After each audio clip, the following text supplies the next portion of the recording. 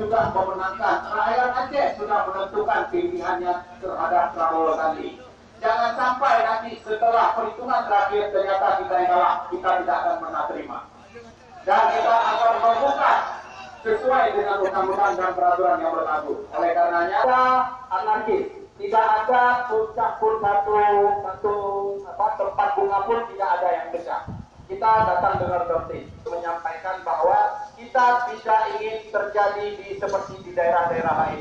Aceh harus betul-betul murni. Kalau memang suara Prabowo 62 86 persen, jangan sampai kurang daripada itu.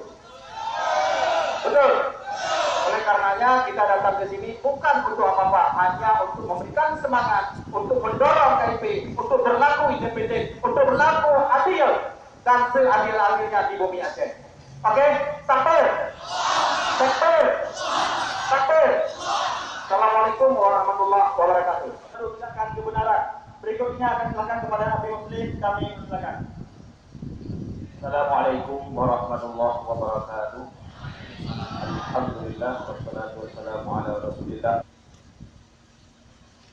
Qala Allah Subhanahu wa taala dalam Quran Karim wa semua cinta keadilan, cinta kebenaran, cinta kejujuran.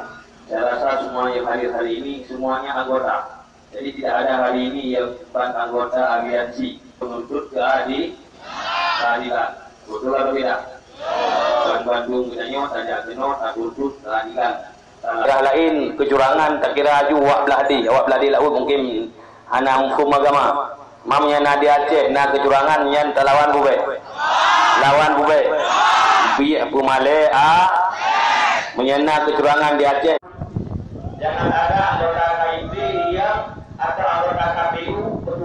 KPU yang tidak bisa ilmu hitung. Mungkin mereka buat paket ijazah paket semua dari SD paket, SMP paket sampai SMA paket. Menurutnya